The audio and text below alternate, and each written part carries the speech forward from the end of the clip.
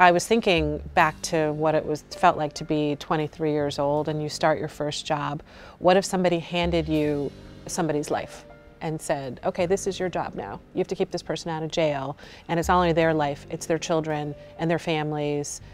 All these people are counting on you. Have a good time. They have the, the gall to say that this is not a big case.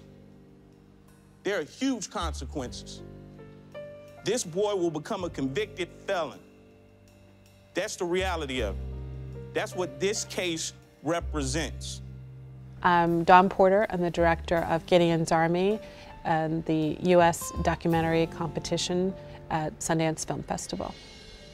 Gideon's Army is about three young public defenders as they experienced what it was like to be a criminal defense lawyer working in the Deep South. We have more people in prison than any other country in the world by a factor of 10. We have more people in prison. The only thing that stands between anybody and prison is a lawyer. And if you're poor, that person's a public defender. Even though I'm a lawyer, I think like most people, I had no idea what it was like to be a lawyer representing somebody charged with a terrible crime. Um, and I was really curious, like, why would you ever want to do that job? You have really low pay, really long hours, people charged with terrible crimes, and I wanted to know why anyone would willingly subject themselves to that kind of world. I am an optimistic person. Um, I get teased a lot about how optimistic I am.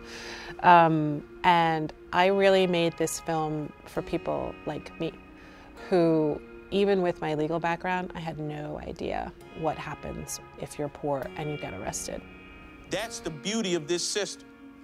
It's set up to give people the presumption of innocence, to give them an opportunity to not just be heard, but hold the state accountable.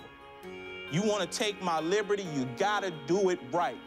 I really felt like if people see what actually happens, that they would care about that and that they would want to make the improvements that we can make to a criminal justice system to live up to our constitutional obligations. So I made it because I'm hopeful.